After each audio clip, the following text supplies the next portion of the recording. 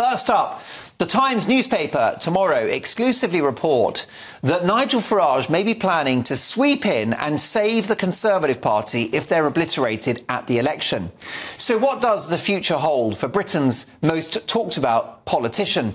And whatever the outcome, what should Nigel Farage do after the general election? Continue to grow Reform UK or scrap it and save the Tories?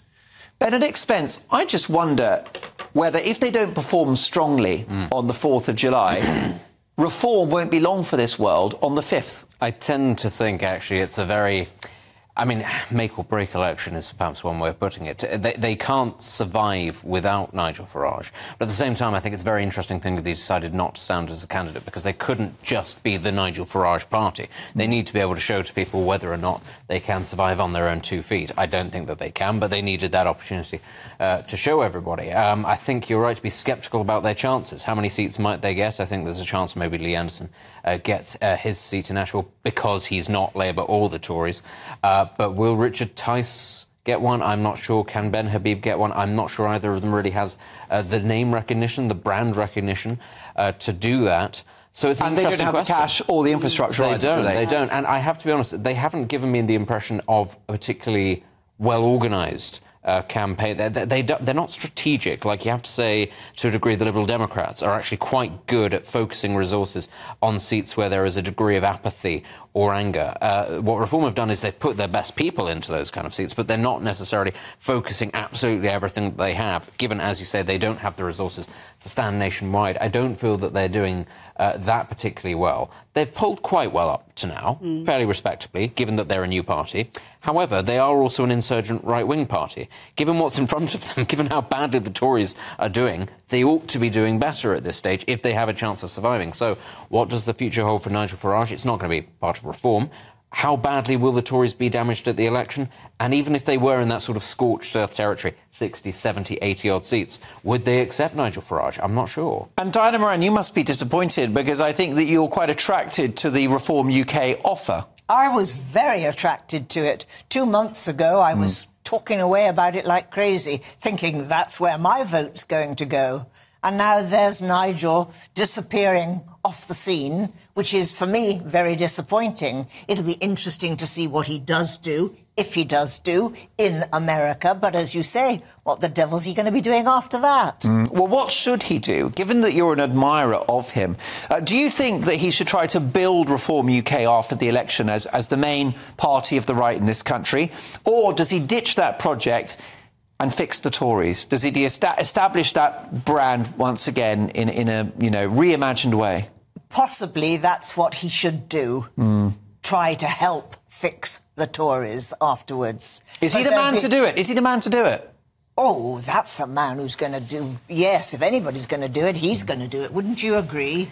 Yeah, I don't, think, I don't think she's going to. What, what, what, should Nigel do after the election? We know him to be a, a colossal uh, political force. Yeah, he's, he, Nigel Farage is he is a disruptor. Mm. He's a maverick. He's not a party team player, so I don't think he's going to go to the Tories and do anything there. I think he is a great campaigner, even though I don't always agree with everything he says. But he is a very shrewd. He's got a lot of political knowledge. Mm. And I think he's got enough political knowledge to know to stay out of somewhere like the Conservative Party. So I think what he will do, he will con- continue his campaigning that he does. Stay on GB News. Yeah, well, he oh, did say yes. he did say on Question Time on yeah. um, Thursday night when. Uh, mm uh, what's his name? Piers Morgan. Piers Morgan yeah. was having a go at him. Mm. He did say, you know, I've got a, a, a show, uh, a daily show that I'm really proud of, and I'm sticking with that. He did say that actually. So, what do you think Benedict Nigel should do after the election? This is a man, the most consequential politician of his generation, that's never been in the House of Commons or achieved high office. I think somebody who I respect a great deal in the media ecosystem and who has got involved in politics before says you can change a lot more as a commentator than you can necessarily as an MP or certainly as a Lord, as a lone voice. Yeah. If you have a platform. And I think that Nigel Farage has a very large platform. He, you know, he manages to incentivise a lot of people wherever he goes. Yes. And I think that possibly that would be a more valuable thing than attempting to sort of break into the Tory party, because that's what he would have to do. Even now, you can see in terms of the candidates that are being put forward for the Tories in some of the safer seats where current incumbent MPs are sitting down, it's Wets, it's One Nationists, it's those sorts of people. It's the sort of people who have been working in Number 10 for Rishi Sunak, for Jeremy Hunt, those sorts of people, the bag carriers, the spads, those are the people being parachuted into those safe seats. You can very much see what the, objection, uh, what the objective is there. It's to make sure that when the Tories do lose, and they will lose, that it's those sorts of people who are still in charge, who still set the message. And I think Nigel Farage would find it very difficult to break into that kind of a party. I also think a party that decides that that's the direction it wants to go down uh, is doomed. I think he would command a lot more influence from a media perspective, actually, for the next five years, giving his his opinion rather than trying to fix a party that clearly Yeah. doesn't want to be fixed. I think, he, I think he's going to be an important voice in politics under, with a Labour government. Mm. That's where I mm. think he's going to be very. You think he'll be like the official opposition? Yes, I, I mm. do. I do think that because uh, I think Labour's got a really tough five years. They've got no money. Policy, I don't, we don't know. Culture wars is taking over policy, which means nothing's going to change, apart from people are going to get angrier in the streets.